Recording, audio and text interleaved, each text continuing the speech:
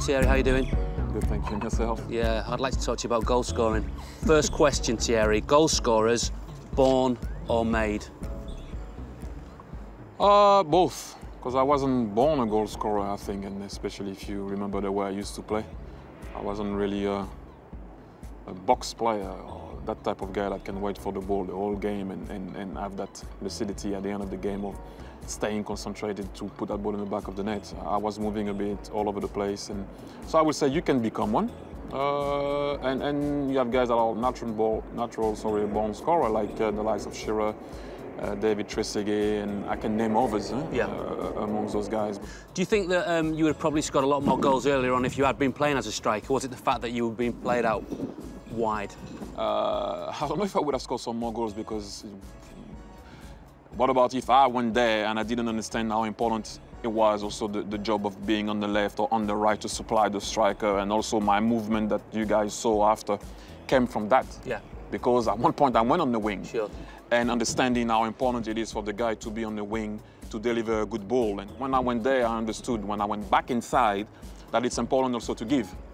So, you know, you can go back. I would, I should, and uh, yeah, definitely. You know what? If I was a striker before that, I would have scored more goals. We don't know about it. Do you think some strikers would benefit from, you know, playing out wide, get, going out on the flanks, because they can get an idea of the kind of service that the, the striker wants? I don't know if some of the guys would have made a career, but definitely in some training session and in some games, just for the center forward to understand what the winger has to do on the side. When I went on the on the left and on the right, you take that ball sometimes and you go back with the, uh, the fullback, right?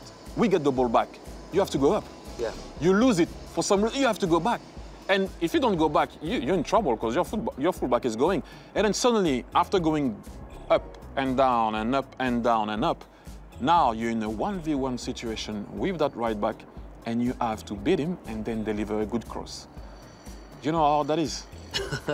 And on your left foot, by the way, Yeah. for me, on my or, going cutting back on my right. And if you don't cross that ball well, you hear the oh, then you hear the manager, come on, man, and the, the striker always the same with him.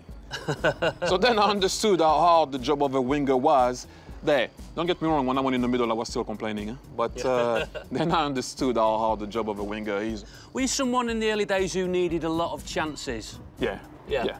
Yeah, because I wasn't a natural ball score, goal, goal, goal scorer. Sorry. So I, uh, yeah, I had to, uh, I had to work on that. So were you missing the same sort of chances in those games? Were there like patterns of, of finishes that you, you know, you, you weren't converting?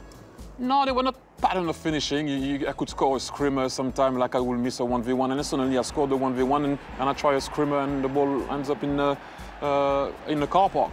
The hardest thing for a striker is when he has time to score. It's kind of weird, Right, eh? yeah, But when you have time to score, that's when you go, shall I go around him? Shall I? Sh- shall I? By the time you go, shall I? Shall I? Shall I? The goalkeeper is in front of you, and you're like, ah, ah, ah. So I developed that finish that you guys all know about. That when I say develop, I didn't, I didn't invent anything. I'm just saying I tried to master it. You know, curving the ball around the keeper, because I knew most of the time what I was going to do. Don't get me wrong, I wasn't stupid. If you, if you give me something obvious, then I'm not going to do that. But you ask yourself less question when you arrive in front of the goalkeeper when you already know what you're going to do. You have three, three sorry ways of scoring goals. Instinct. Ball comes, boom, boom, whatever. You know. Oh, how did you do it? I, I don't know. Ball came. You know, felt it. I know where the net is. I've been playing here for 10 years. I know. I know the goal. Whatever. Then you have the one where you look, picture, boom. Because I always said the best camera you can have is your brain right?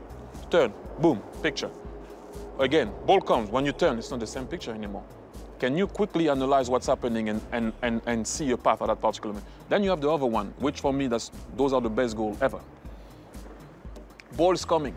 But while the ball is coming, I'm looking. Ball is coming, right? But I'm looking there. Are they moving? Are they not moving? While the ball is coming, I'm picturing what I'm about to execute, right? And there is nothing better than when you actually do what you had in your mind. Give me an example of a goal that you scored doing that. Newcastle at home 2001, Tony Adams gave me a long ball. The defender is coming.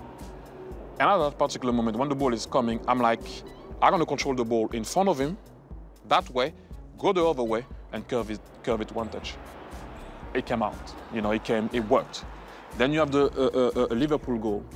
where Gilberto Silva gave me the ball, and that's when I push that ball and I pass Didi Hamann, now you have to react to what they're gonna do. Everyone's gonna think I'm gonna curve it because I have, I have that in my Yeah, locker. yeah, yeah. No, I'm not curving it. Go inside. Put the ball back on my right, compose yourself, finish. Those are the ones that, what do you see from what you gave them? Whoop, did they move? Yeah, whoop, but you need to see that quick. In order to do that, you need to be equipped. Can you think? Okay. Can you see it? Can you create something that is not happening yet? Execute what you need to execute well, picture it before, and then do it.